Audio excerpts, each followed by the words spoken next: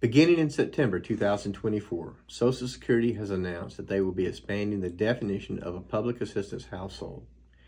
Now, this will allow more people to qualify for SSI, increase some SSI recipients' monthly benefit amount, and reduce the reporting burden for individuals living in public assistance household.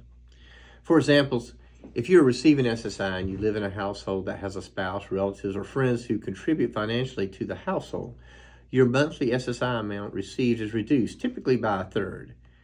Instead of getting the full SSI benefit of $943 a month, many only receive about $609 a month because of other resources. With this new change, if you are receiving SSI, you may qualify for the maximum amount, $943 a month, because in many cases, they will no longer count the income of others in the household. Now, I've included a link below that will direct you to Social Security's blog regarding this new and exciting benefit.